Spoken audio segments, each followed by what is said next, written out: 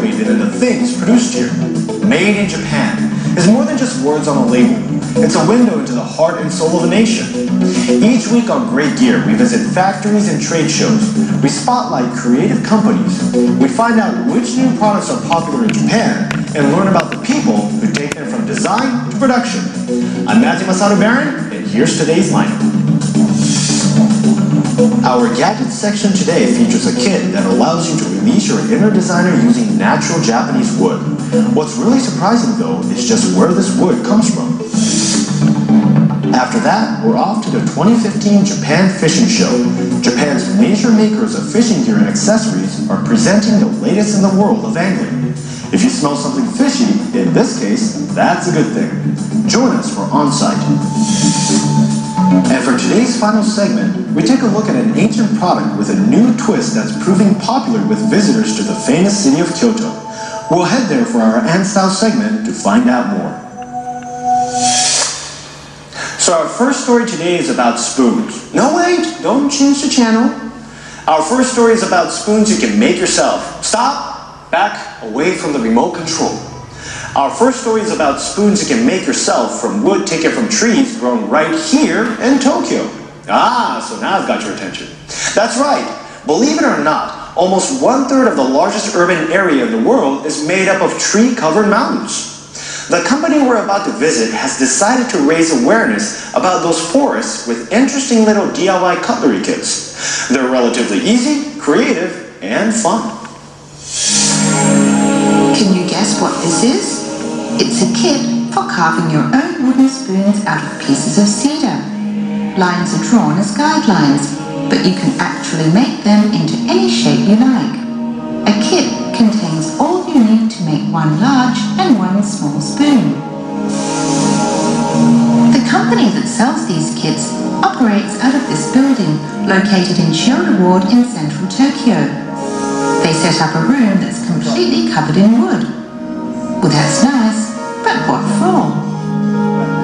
東京であの使われなくなった木をあのこの東京の都会のど真ん中に集めて部屋を作りましたここでいろんなワークショップをやったり映画の上映会をやっています This space used to be a pretty dull looking office room, but Fudori's employees worked together to cover the walls and floors with wood. The wood came from four types of trees, like cedar and cypress, all grown in Tokyo. Other products are also made from Tokyo's cedar and cypress trees. This box is a bookcase when placed sideways, and a stool or a table leg if placed upright. This is a percussion instrument called cajon.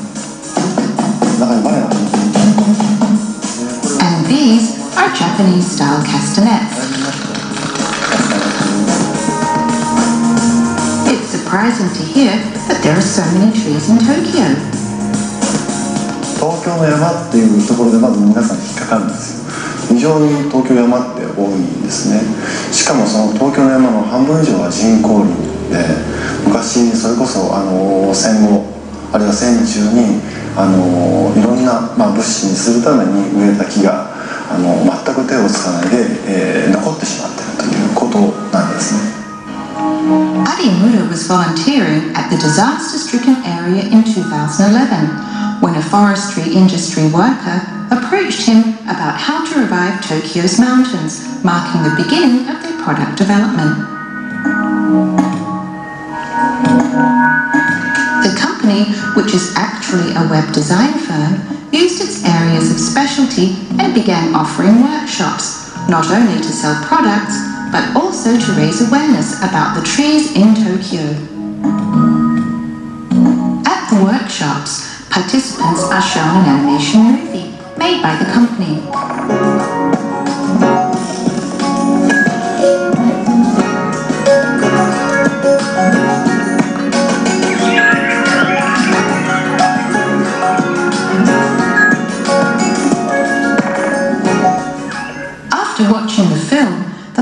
participants make their own spoons. These experiences are aimed to change the way we look at trees. The wood in these kits come from leftover parts of lumber that are cut into boards and posts to be used as building materials. These thin outer edges are normally burned, but they will cut into small pieces to make the kits. これ作る時にまずあの皆さんにお 伝えしているのは木も命として人間のために、まあ、自分の身を削って、まあ、あのこういうふうになってくれてるわけでそういう、まあえー命に対する、まあ、大事さみたいなところ Many people are first surprised at how soft cedar is and how easily it can be carved with a box cutter knife. It only takes about an hour to complete a single spoon. Each person creates something different. Another great thing about the wood is that it can be carved into any shape. あとこれはちなみに桃の農家さんが作ったんですけど桃をイメージされたそうですあとはスプーン作家さんが作るとこういうふうになります There are as many different finished shapes as there are people who make them. While making the spoons, everyone is encouraged to imagine the right size and purpose for the person who will be using them. This animation, also shown to the workshop participants, explains that it's important to think of the person who will be using the spoon. Handmade spoons are somewhat like the thoughts of those who make them, given form. They also symbolize the modest beginning of the efforts to reclaim the trees in Tokyo. Be a long-term endeavor, but we look forward to seeing where the road will lead. See? Spoons can be more fun than you thought. I really like the fact that the company stresses the importance of keeping the end user in mind while creating a spoon. Empathy is an essential part of good design.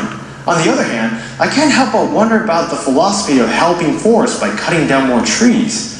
Unlike people, having too many trees is not usually a problem. And if for some reason it is, it's a problem that over time the forest will take care of itself. Trees have been around on Earth for over 350 million years. We modern humans have only been around for roughly 200,000. Maybe the forests are okay without our help.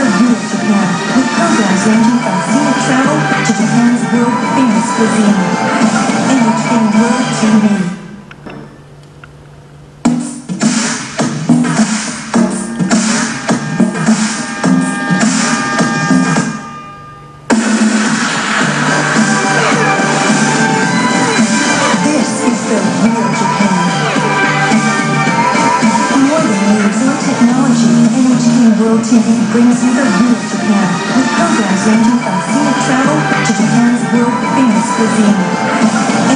World TV.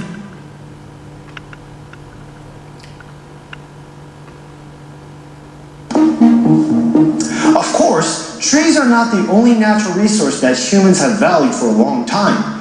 Fishing for food, sport, and relaxation is a pastime found in any country where there are fish. We sent reporter Brian Hughes to find out what's really in the big ones here in Japan.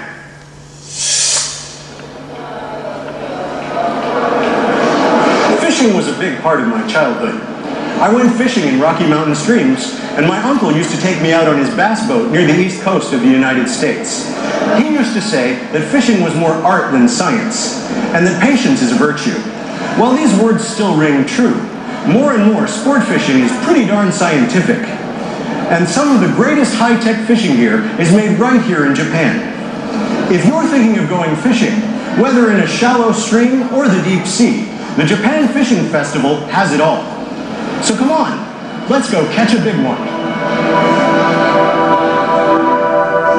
Actually known as the Japan Fishing Show, it draws in throngs of aspiring anglers every year. This time out, over 50,000 fishing fans dropped by during the three-day event, which featured a ton of great gear.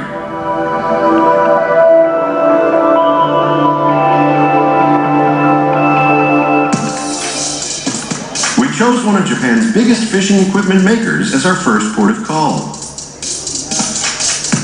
The big standouts here were their latest low-friction reels featuring waterproof construction.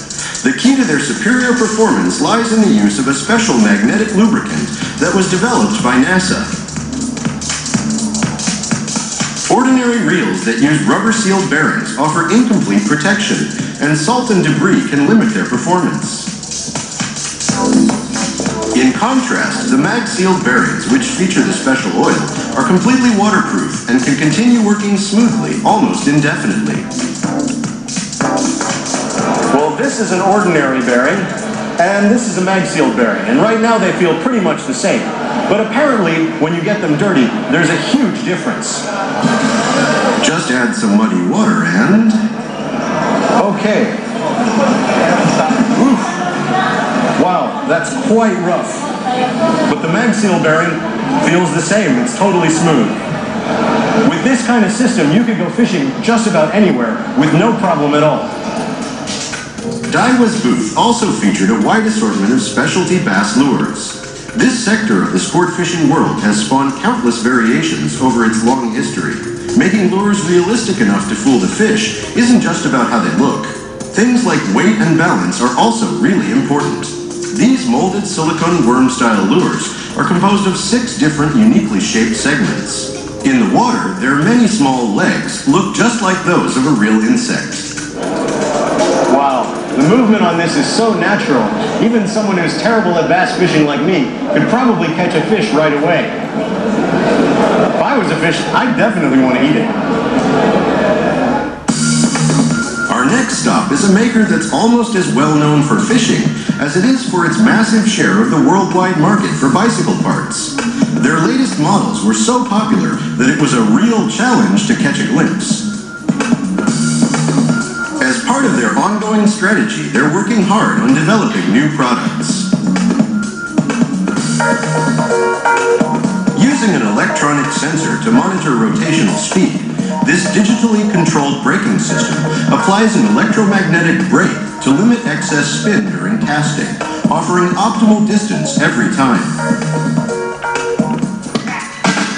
All right, now it's time for a fishing game? Actually, this is something much more serious. Shimano has been making fish finder systems for some time now, but this new setup allows data to be viewed on a smartphone via wireless network. It brings information on the contours of the seabed at a depth of up to 250 meters, temperature, and of course the location of the fish to the palm of your hand. System allows everyone on the boat who has a smartphone to see the exact same information that the captain sees. And it's a free app. Now that's great. This handheld sonar unit is coming in spring 2015. It too works with your smartphone, so you can use the system on even the smallest rubber dinghy. This firm, originally a metalworking company, developed the world's first electronically controlled fishing reel. Piece of super high-tech great gear helped to land this massive 400 kilogram tuna. Their latest models have improved power and speed, as well as reduced energy consumption and a motor that stands up even better to long-term use. This company is known for their night fishing lures, but this time around, they presented something quite different from their usual bright lights that was received with glowing reviews. So what is it exactly? It seems like a long pole of some kind, but it has a camera attached to the end. In fact, it can be used as a mount for any standard action camera, which when paired with a waterproof housing, can be used for underwater filming. It lets you get a whole new angle on the fishing experience. A fisheye view, if you like. Also developing a remote control system that will eventually work with a smartphone. Beyond fishing, the possibilities for this product are almost unlimited. Next, a company that makes fishing rod guides, the rings that keep fishing line from tangling up. It may sound a bit dull, but these parts can mean the difference between fishing success and fishing failure. Right is a cross-section of the company's latest ceramic guides. they have an extra smooth surface and gentle curvature that protects fishing line from the heat of friction. Well, this is set up to demonstrate the difference between the old style part and the new style part. Let's give it a shot. Ooh, that's heavy. Okay.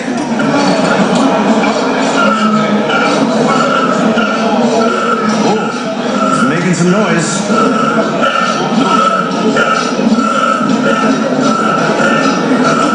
Oh, the old one is broken. But with the new one, no problem. This company is thriving thanks to the huge popularity of bass fishing. The pro anglers they sponsor have won a number of tournaments, and they've used their experience to create even better products. This particular series is made from 100% carbon fiber, and each rod weighs only about 100 grams. Careful attention to the orientation of the fibers results in amazing flexibility.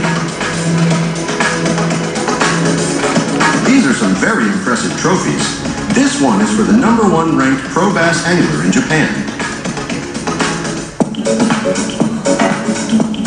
Now let's take a look at some traditional Japanese fishing rods.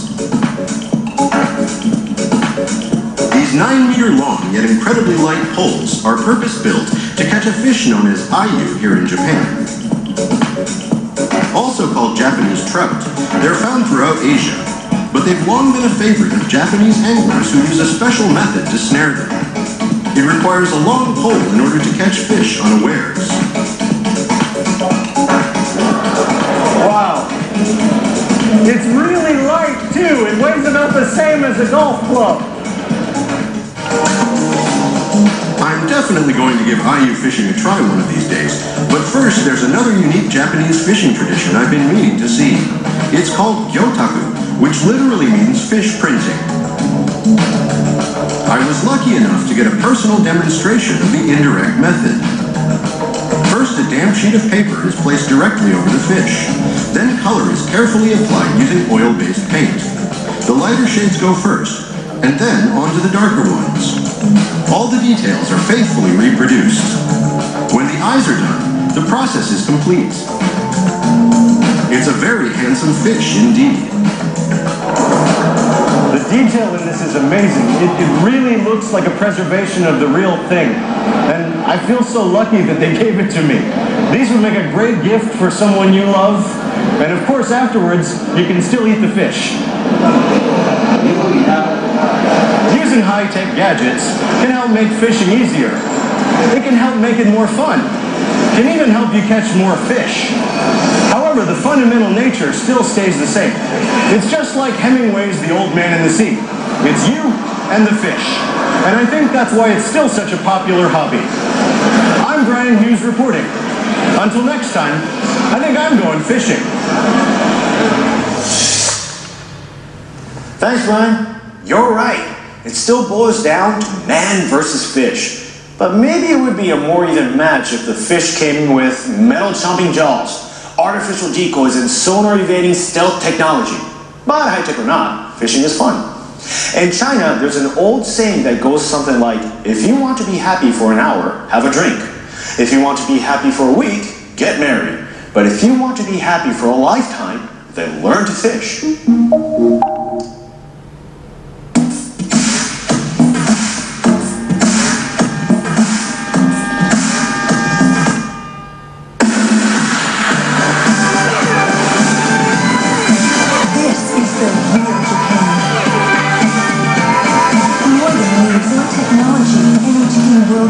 Brings you the real Japan with programs ranging from scenic travel to Japan's world famous cuisine.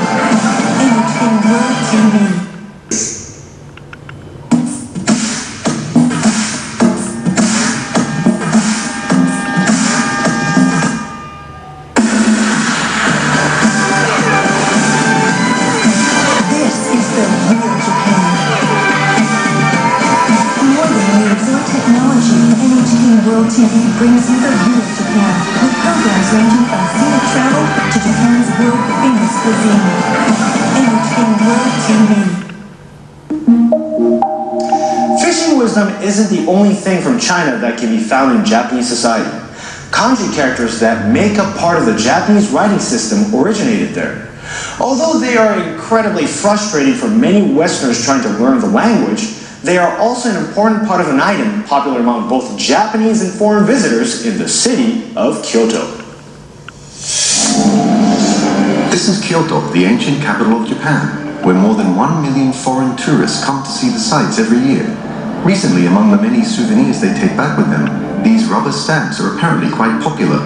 What is their connection with Kyoto?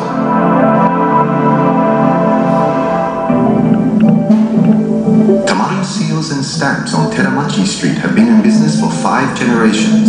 The shop carries the seals that are commonly used in Japan to sign documents, but they also sell these impressive stone seals originating from China. They even have brushes and inkstones, as seals are closely related to writing and painting.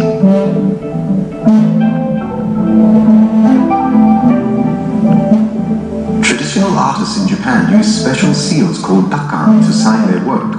The type of letters for the carved seals is chosen to harmonize with the characters of the calligraphy.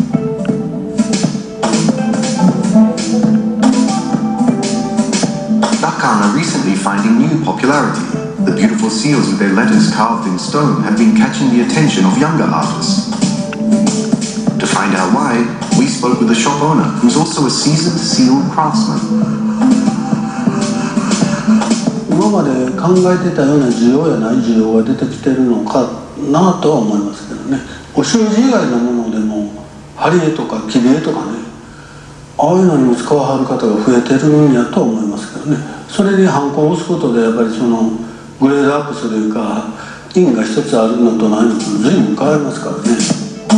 Mr. Tamaru gave us a little demonstration on how a seal is carved.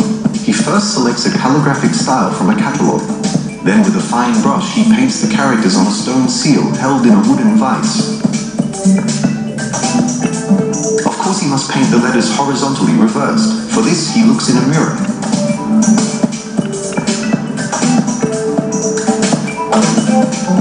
Using the sharp corner of a chisel, he carves into the stone.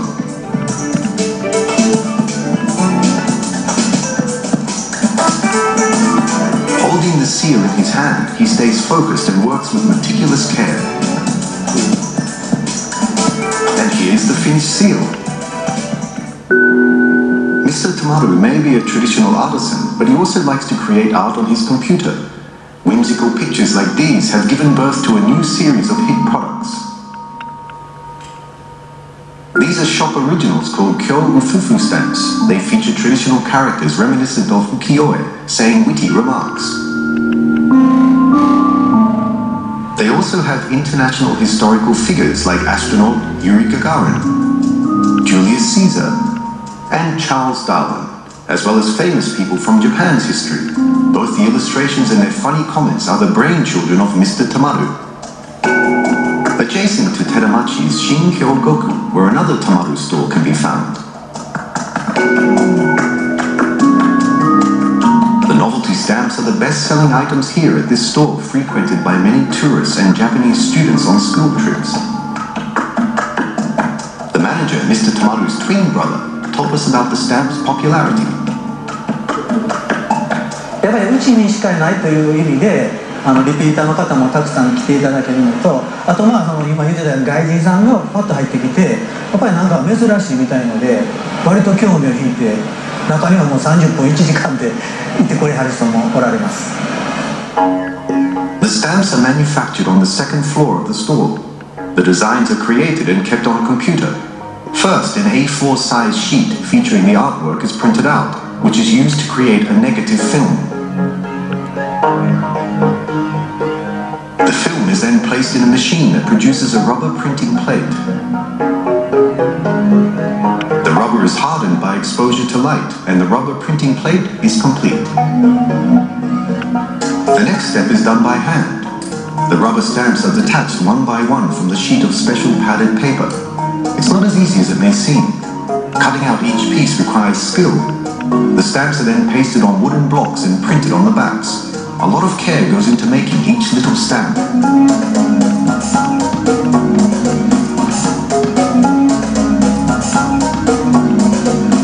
The stamps are all made in-house, so any of the designs print neatly and easily. Using ink pads of different colors is also popular apparently.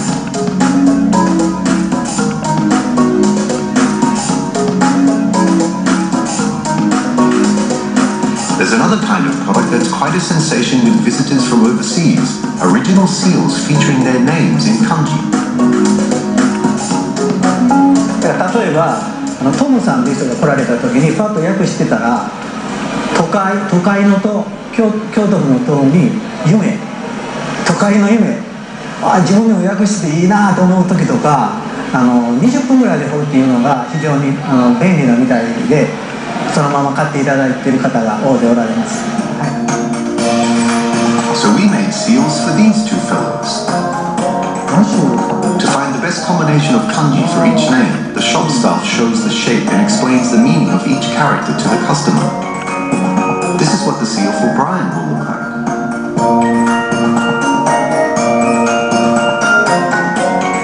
あこんにちはできましたよこちらです And here they are. Packages show the stamp and explain what part of the name each kanji corresponds to. The set with case and ink pad costs $45. So, how do they keep a good ratio in sales between the traditional seals and rubber stamps? 多分うちはその伝統的な部分職人では我々もハンコ掘りますけどそういう職人が作ってるスタンプっていうのであの人気があるように思います特別ねこっちばっかり宣伝しようとか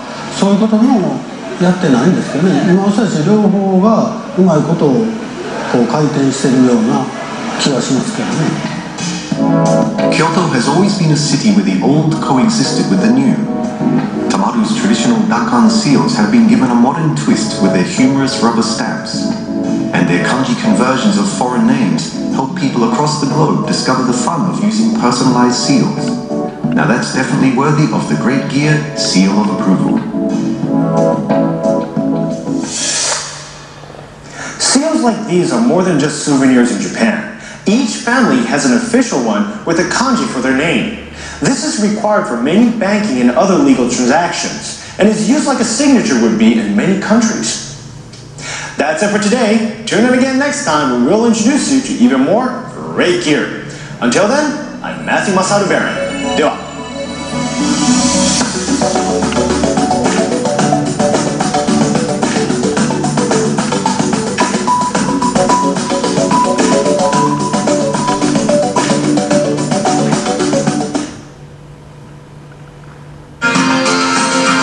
Kasih Anda telah menyaksikan Jendela Jepang.